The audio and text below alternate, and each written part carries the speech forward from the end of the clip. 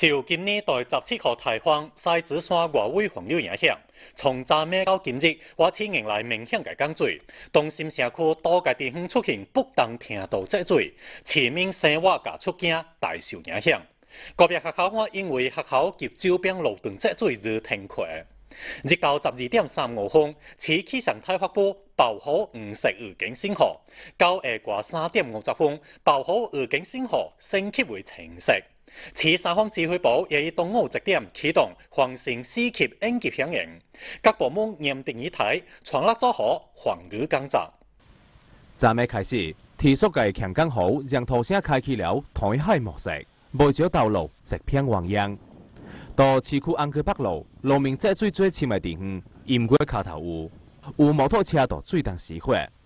而附近嘅长安路，同样是一片水茫茫，空城只能够扎起裤卡。插水过过，未少摩托车拢冒着脚步，唔敢轻过通行。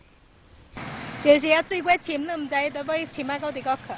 现在开过来一车驶过来就碰冰线，哎，我唔敢驶过。我嚟 pin 咗開你，有莫名係一啲事嚟嘅。是咁樣就潛水落河咪出到去了，出入你都買清愛哩，啱啱天時啊，你買清愛啦，唔就清水愛，清水行幾邊去啊？我希望你是單單是咁樣有病啦。有光年落来，咁尾嚟个烧开嘅，嗱个水道嚟咪通嘅，无你买起唔少算，我出来非常唔方便。明早市区兴会区嘅积水也未抢，记者现场睇到高调街严重受浸，水深至三十厘米，行人高小心下界下水进出。附近居民打，今日零星五点左右，兴会区就开始出现水浸盖。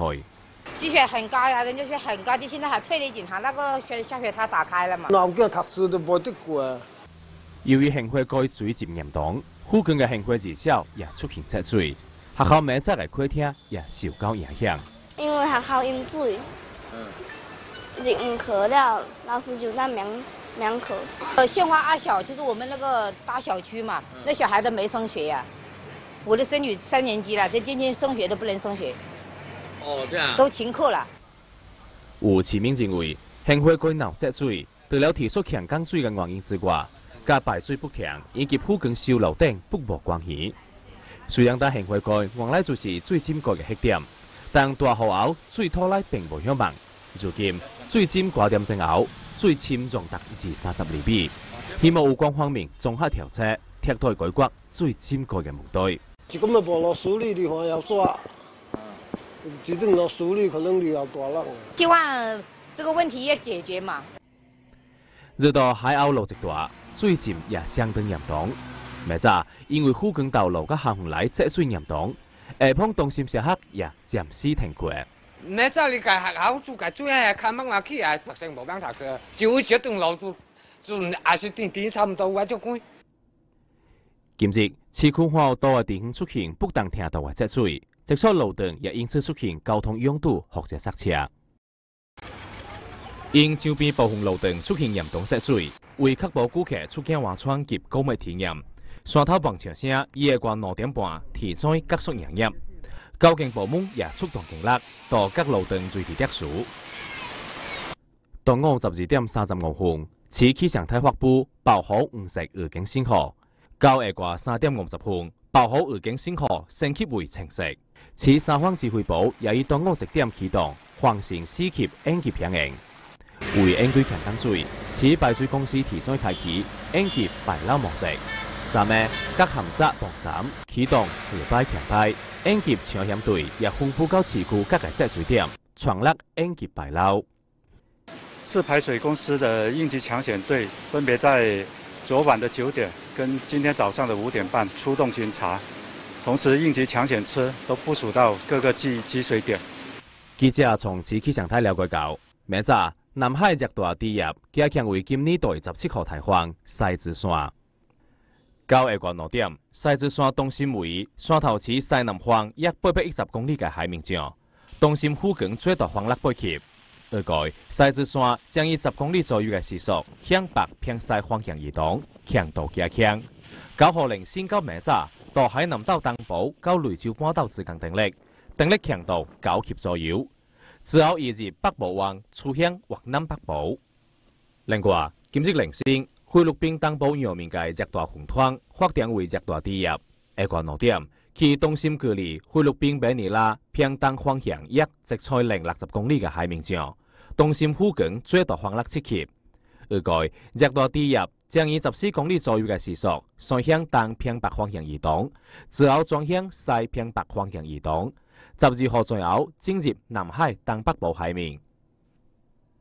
对一个狮子山的影响呢，我市呢在八到九号将有一次大雨到暴雨的一个降水过程，那平均雨量呢是可达三十到六十毫米，朝阳地区呢局地呢是可达七十毫米以上，局地呢是会出现一个雷暴跟六到八级短时大风等强对流天气。那我们预测预测呢最强降水时段呢会出现在八号的夜间。气象部门预测，十月十号起，外市气温将逐步回升，天气转多风为主。日受西子山甲热内空气嘅共同影响，山头附近海面会提速加强时间嘅大风。海上作业船只以及海岛旅游呢，仍需注意一个安全，那也需要防御短时强降水带来的一些自身灾害。呃，秋季台风的一个路径跟强度呢都是比较多变的，那我局呢将密切监测一个台风的最新动态，及时发布相关的预报预警信息。提速界强江水也导致道路公交车停运，不少私家车也被逼到最当死火。虽然交通部门全力排捞，但市民出行仍大受影响。根据气象部门的预测，强降水浓度提速，交警部门也呼吁广大市民非必要不外出，开门瓦窗。车辆上路跳往跳载的话，结果引发困死困伤事故。但直触驾驶网你无视法律停止走险，明早直接进入河北界九座面包车，就因为包车载十八名农民工来山，结果被金平交警部门查获。明早交警金平大队山东队组织警力到大学路沿线开点，正伫七支九座载客汽车跳往跳载专项行动。期间，一辆河北位沃 V YS 八幺八嘅面包车，因大学路自西往东行驶，正到土江加油站路段接近嘅民警发现，该车有跳载跳往嘅迹象，立即示意驾驶员告警停车，接受检测。民警直车发现，车顶竟然载客十八人，跳载率百分之百。载客的小面包车，它的核载是九人，但是它实际载客是达到，包括司机是十八人。那个超载率是达到了百分之一百。交警部门为此检扣了该车，并依法对驾驶员戴某位作出处罚。那么我们民警现场立刻对这个驾驶员以及车上的乘客进行严肃的批评教育，并依法对该驾驶员进行罚款两百元，并记扣六分的一个处罚。受处罚嘅驾驶员戴某位也深刻认识到跳往跳载嘅危险性。冇在啊。嗯。我就卡在卡再能卡危险啊！交警部门表示，将技术严查客车跳往跳载等交通违法行为，防止困死困伤事故嘅发生。也希望广大司机文明业务，各做跳往跳载。一个面包车超员超载的话，它一很容易造成这个群死群伤的恶性的重大交通事故。交警部门是提醒广大的司机朋友。呃，要依法依规的按照核定人数个载客，呃，同时要文明的出行，遵守交通法律法规，营造一个文明和谐的出行环境。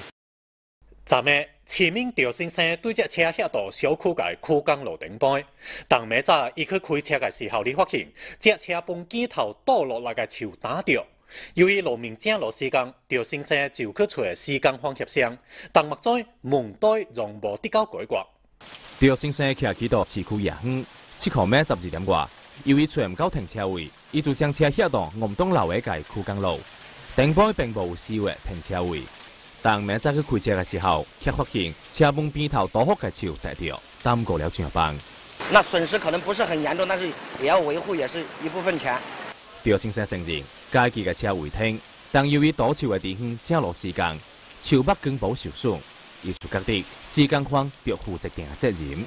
树根啊，全部这个土都挖掉了以后，导致它树呢就站地不稳。那所以刚好又遇到昨天晚上下雨的天气，导致这个雨呢，再加上土没了，可能刮点风就把树刮倒，刚好压到我的车。为此，刁先生也找过施工方，但门对暂时未能得到改观。我的车虽然说属于是违停的情况，但是呢，我没有停在它的施工的警戒线以内，是属于停在警戒线外的。早上施工方来了两次，他就说是我的问题，他说树是给重蛀掉的。我现在打电话给施工方，施工方已经不接我电话了。调青山就希望有关方面能够协助处理这件事。那这个事实呢，我希望就是说啊，咱们就是说，有关部门帮我协调一下。症状。教会业对心、脑、肠等人体重要器官的损害是缓慢、长期、甲提速界。血液直接唔够有效控制，损害就会直接传导。我们高血压就相当于说是全身血压的升高，那么这些血压就是在血对血管的压力。那么从从广义上说，就是你的血管走到哪里，那么都是有危害的。但是主要器官，我们人的人体就是脑，还有心，还有肾。另外还有一个我们眼睛的视网膜也是比较微小、比较敏感的血管。消息显示，我国每时间我们成年人等组织能患高血压、患病六天上生活、甲年轻化的趋势。肥胖啊，然后还有就是运动量减少、工作压力或者些一些熬夜，还有一个问题就是抽烟，哦，还有一些一些经常喝酒的，这些都会引起跟跟高血压。如果有这些习惯的人，这些因素。呃，生活习惯越多，罹患高血压的的的可能性就越大。另外一个还有一些遗传因素，大家不要忽略这个遗传。比如说你父母或者是爷爷奶奶一辈，呃，都有高血压，那么他高血压是有一个遗传的倾向。这样子，我国高血压界在效率、治疗率、控制率加低的原因之一，是病人唔在家己嘅血压水平，即使已在高血压嘅患者。也会并且感觉去营药，或者是盲从他人营药。这种一些高血压病人啊，他量的有点高，经常就是朋友周围朋友吃什么药，他就吃什么药。这种是我是不建议这样这样子去做的，还是要在医院查查一下你的肝肾，排除一下你的有没有呃心脑肾血管各方面的损害，然后你的肝肾功能怎么样。第三方面就是筛查你是那些那些血脂啊、尿酸啊，哈，还有一些。另外一些代谢方面的问题，在综合情况去用药，这样是比较规范。卫生指出，高血压可控可慌，市民除了要养成良好嘅生活习惯，欢迎等定期监测血压情况，早发现、早治疗、早保护。所以我们建议是到这个成年以后，呃，特别是三十五岁以上以后，都要呃每年的坚持测量血压，半年的测量一次。足球是全世界最受欢迎嘅运动之一，而花式足球是足球运动发展嘅一界分支，是令充分展现个人技巧嘅足球文化。作为该套足球嘅特征，花式足球有家己嘅舞台比赛嘅文化，是令这项卡上啲艺术。而到山头又只剩有一群花式足球爱好者，今日嘅硬阿车动起来，咱就做再来去感受花式足球嘅魅力。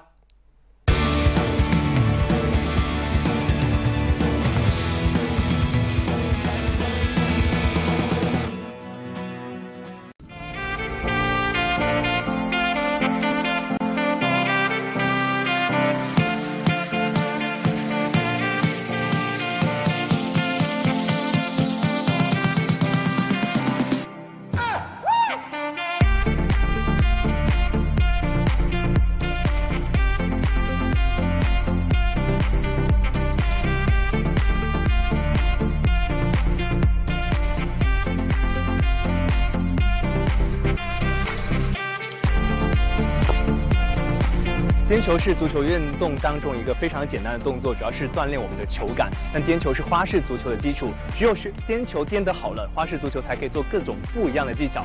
那我们今天的这个动起来呢，就请到了一个把花式足球玩得非常溜的大神，有请我们的季华教练。Hello，大家好，各位观众大家好，很好，你好。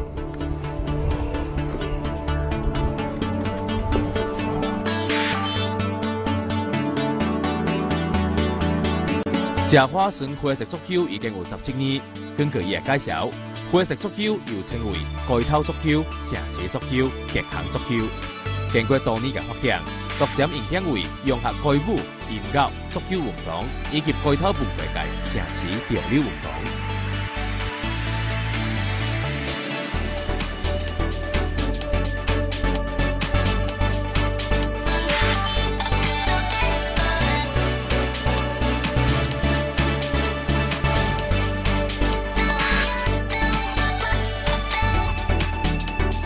当足球轻松身体的时候，也触发了原家会嘅气势畅想。今日刷新了令人眼花缭乱的大桥甲坐骑，直到停出于脑单嘅高条旗外，拢需要扎实嘅基本功。这边开始简单嘅动作，拢体现了对足球精准嘅控制力。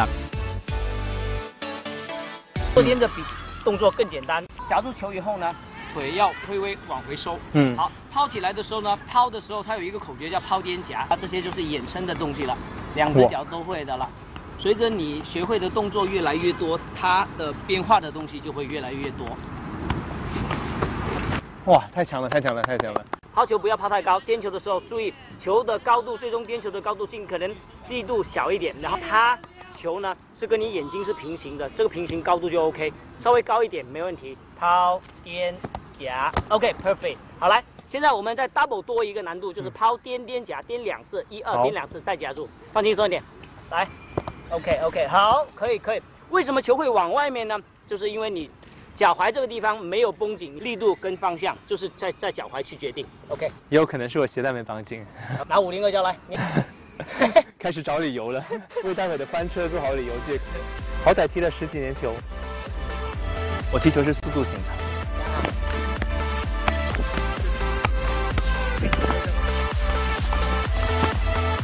哎，再来。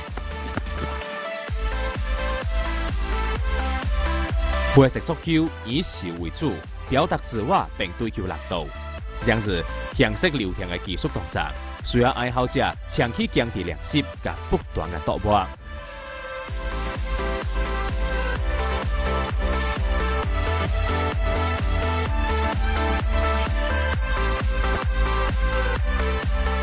是时候表演真正的技术了。谢教练，刚才我们就有一个几个非常简单的基础动作之后，我想稍微挑战一件有难度的。我刚看到你脚非常灵活的转，这颠绕，这是什么动作？颠球加绕球，嗯呃，简简称颠绕，嗯颠颠边绕。这个是要在一就是颠球有一定的感觉之后是吧？我先给大家展示一下吧，好然后我们再做分解三步的分解。好 OK，好来。整个人非常的非常的灵活。OK，我们分为三个部分，第一个部分就是首先你要学会颠球，颠球呢，那基本上来讲，每次起球。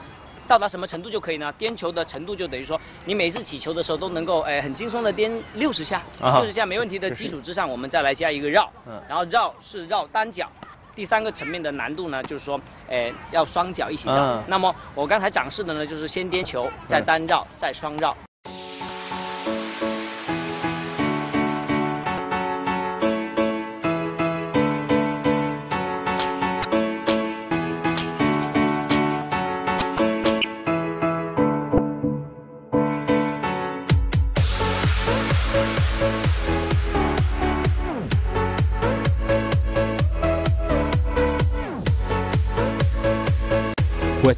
识足球，由于对场地甲参与人数要求比较随意，而且有人来听，参与面广，受到各地足球爱好者的青睐。